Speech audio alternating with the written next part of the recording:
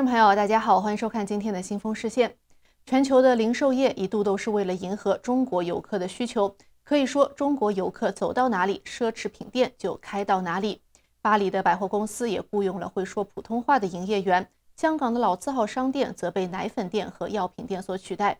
而现在，在疫情停飞三年之后，中国游客又重新开始出境旅游了。然而，《华尔街日报》指出，中国人的面貌和消费都不一样了。新一波旅行消费者以四十岁以下的年轻人为主，他们正在开辟一条不那么常去的道路，避开传统的购物中心和旅游大巴等路线。年轻人喜欢使用在中国流行的小红书应用程序，在小红书上可以找到最新流行的旅游地点和网红打卡点，满足年轻人拍照分享的欲望。而结果就是严重影响了依靠旅游零售的大企业。化妆品公司雅诗兰黛十月一号发布盈利预警，股价大幅下跌，主要原因是亚洲旅游的零售业务面临压力，以及中国大陆的复苏速度低于预期。雅诗兰黛往往在游客集中的各个关口投资开店，包括机场、边境、热门的旅游目的地和购物中心、免税区等等。上个月，日本的化妆品公司资生堂也将全年利润预期下调了百分之三十六，理由也是中国市场和旅游市场疲软。巴克莱银行则下调了法国 LVMH 等奢侈品公司的投资评级。十一月底，奢侈品百货公司 Harvey Nichols 表示将会关闭位于香港市中心两家门店中的一家。Harvey Nichols 的报告称，尽管大陆与香港的边境在二月份重新开放，但是来自香港的中国大陆游客不再像疫情之前那样喜欢购物了。这一点现在已经十分明显。此外，疫情期间电子商务显著增长。奢侈品牌在中国大陆的业务迅速发展，以及中国大陆和香港之间的价格差异逐渐在缩小，也是它不得不关店的原因。而这一趋势在其他受到中国游客欢迎的旅行目的地中也同样存在。一位在香港旅游的二十四岁的大陆年轻人表示，对购物已经不太感兴趣。通过小红书，他看到一些网红拍照地点，他对打卡这些地点更加感兴趣。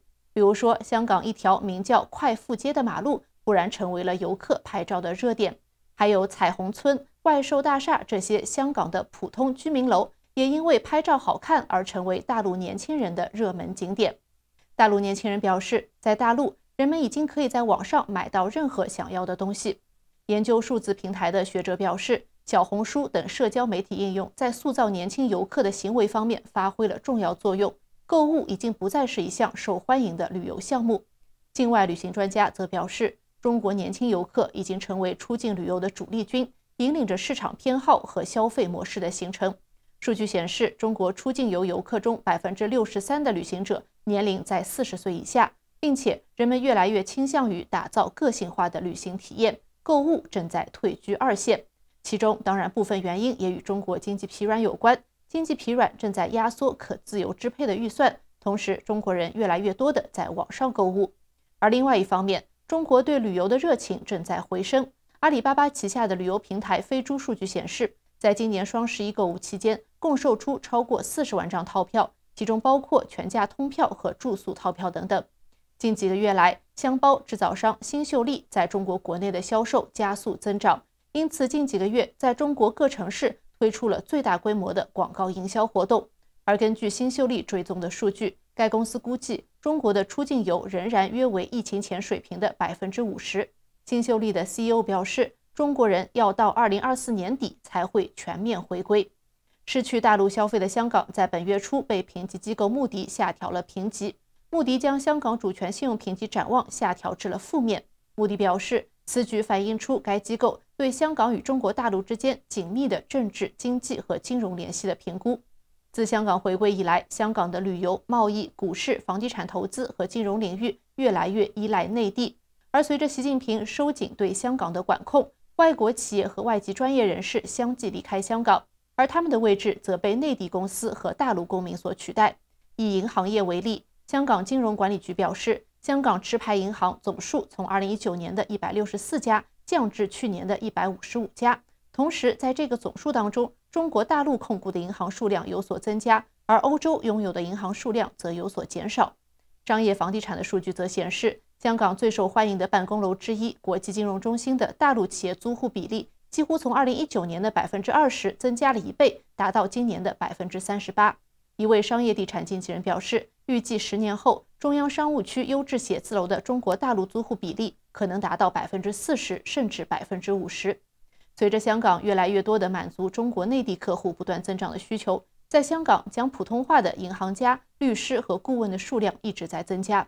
香港的金融监管领域也正在向北京靠拢。自八月份起，在香港证券交易所上市的中国注册公司不再需要在申请中申报与中国大陆相关的风险。随着外国人逐渐离开，他们正在被中国大陆公民所取代。二零二三年上半年，香港根据新的人才计划批准了超过两万五千份移民申请，其中超过百分之九十四都是来自中国大陆。中国内地人涌入香港。缓解了香港的低出低出生率、学生人数下降和人才流出给香港经济带来的部分压力，但同时这也让香港越来越多的失去了独特的身份。专家表示，香港将逐步向中国体制靠拢。在未来二十年的规划中，北京要求香港与邻近的深圳更加紧密地融合在一起。专家表示，随后的变化很可能来自于香港日益壮大的华人商界自下而上的需求。一旦一国两制的大原则被破坏，那么，大陆和香港两个体系将在多个层面上开始趋同。一九九七年，香港占中国经济的百分之十八左右，但现在仅占百分之二左右。而随着深圳等内地城市的更快发展，香港还能够发挥多大影响力的问题依然存在。虽然香港一直在开拓中东和东南亚市场，但是中国大陆仍将是香港贸易、投资和旅游最依赖的经济体。专家表示，香港目前约百分之四十的经济依赖内地。但预计未来十年，这一比例可能会增长至百分之五十或者百分之六十。对于许多人来说，这个前英国殖民地的去向毋庸置疑，因为中国不可能向香港靠拢，只有香港向中国靠拢。以上就是今天新风视线的全部内容，感谢您的收看。这里是华尔街电视，如果喜欢，记得点赞并且订阅我们的频道。我们下一期节目再见。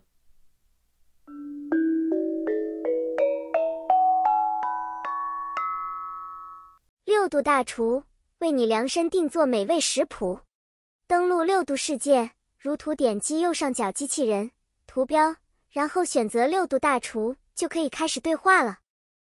你好，欢迎来到我们的烹饪小游戏，让我们开始吧。